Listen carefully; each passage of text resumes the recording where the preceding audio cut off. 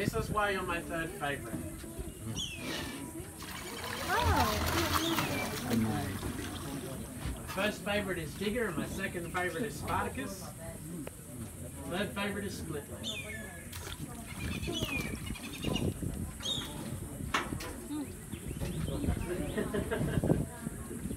Here he comes.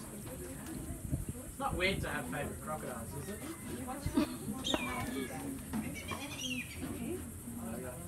Digger, Spartacus, and Splitlet on the three. Oh, miles. Oh.